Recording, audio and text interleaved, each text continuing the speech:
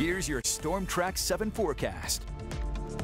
I'm Storm Track 7 Chief Meteorologist Mark Schnackenberg. Some areas of fog possible later tonight. An isolated shower or thunderstorm tomorrow. Also a chance at a shower or thunderstorm as we get into the day on Saturday. But on Saturday night, there's a chance for some of those storms to be on the stronger side, maybe severe. So something we'll continue to track. And if they do materialize, locally heavy rain a potential. It's going to be a bit muggy around here. Tomorrow, Saturday, Sunday, dew points hovering right around 70. Not much wind. It'll be light here for tonight and into the day tomorrow, all out of the southwest and south direction here. And that will continue over the next several days, actually, a southerly breeze.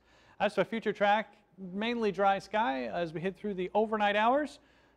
Some spots will be dealing with some fog early on tomorrow. An isolated shower a possibility, maybe a stray storm. Then we're back to a little sunshine, heating things up into the 80s. And again, just a small chance for an isolated shower or thunderstorm. So a lot of dry time here expected for the day tomorrow.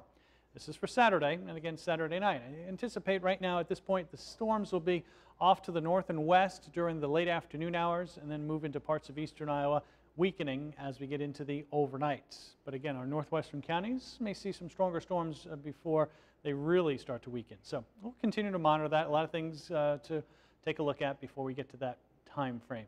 Until then, we've got some pretty quiet weather here for tonight.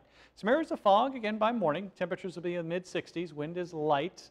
As we head into the day tomorrow, a chance at a shower or thunderstorm, a little sunshine helping push temperatures into the 80s where western Iowa was today. Because of the cloud cover today, we did not get into the 80s. We were in the 70s.